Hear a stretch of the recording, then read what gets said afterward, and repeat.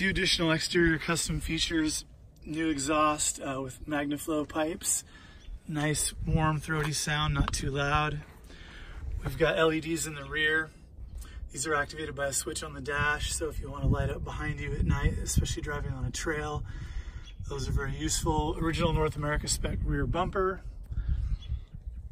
And then we believe, as noted in the ad, that this may have been a port of entry car. Either way, at some point it's had the aluminum top added.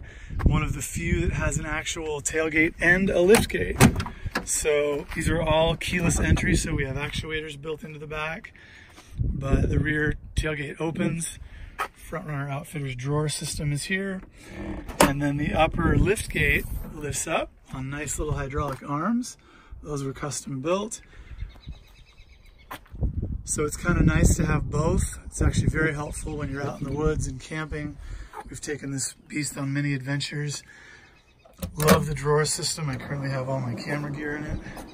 And of course the winch remote. It's on ball bearings and it pulls out all the way. Holds tons of weight so you can load it up full.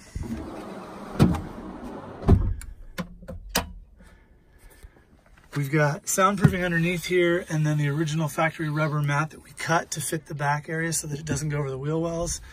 And then we mounted the drawer on top of that. What it does is it leaves the back more level.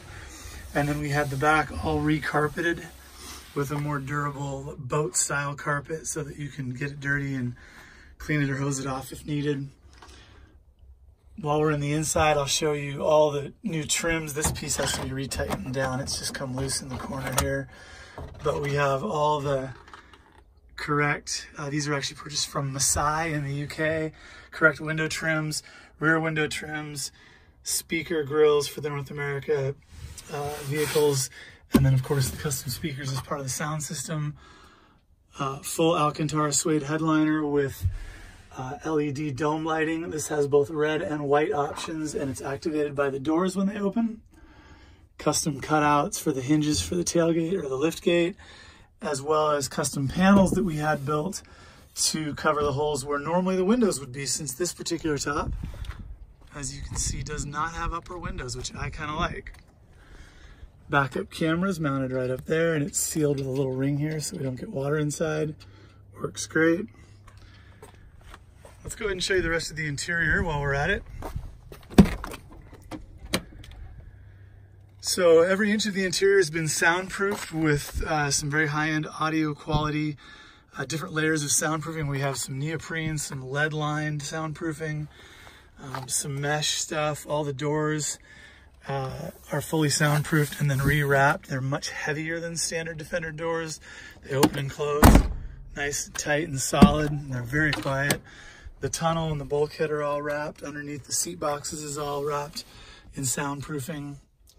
As you can see, North America spec, center console with automatic transmission. We leather wrap the top to give it a little extra touch. Some cleaning supplies in there. And then we added the cup holders as well. Got some areas for your phone or other devices up here.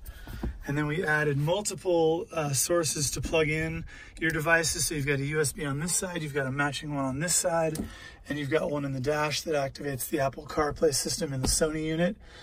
Custom console was built for us. It was custom molded, as you can see, to fit the original factory clock, to fit the Sony unit so that it sits flush instead of tilted down. Power windows, heated seats, heated windshield, this activates the fog lights and of course the hazard switches. Everything works as it should. AC system was recently installed, blows ice cold, and the uh, extra speakers were added in here. We also added some extra speakers in the center console, which is kind of a unique setup. It gives it a little bit of a fuller sound. I like it. And as you'll see in the photos, there's a subwoofer underneath this seat uh, and amplifiers and then dual batteries underneath this seat. And the amplifiers are actually behind all this unit back here. They're not under the seat, to be clear on that. There's your LED dome light. The top of the dash was wrapped. This is actually a matching black vinyl. Goes with the door wraps and the center armrest wrap. Give you a better shot of the headliner here. All of the door seals were replaced.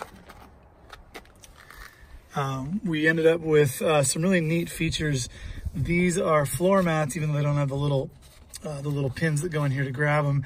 These are floor mats out of a newer Defender out of the UK, and these are actually called the Adventure Edition seats, the two-tone perforated leather seats uh, out of a 2013 Defender uh, that we actually purchased uh, in the UK as well and took most of the interior components out of, so that gives it a much more modern, updated look. Looks and feels and sounds like a Range Rover when you're inside, much quieter and more sophisticated than any Defender we've ever built. And the only thing we left original that I've debated upgrading is going with a newer style, smaller diameter steering wheel. We've done that on other builds, but this is the original steering wheel to this car. So we left it. New Speedo. Uh, you can see the mileage since the rebuild is 1,152. I've been driving around today shooting photos and videos. And these gauges do have LED lights behind them now, so they're a little bit brighter in the evening when it's dark out. As most people know, the gauges and Defenders are pretty dismal. Let's go ahead and pop the hood. I'll show you under the front.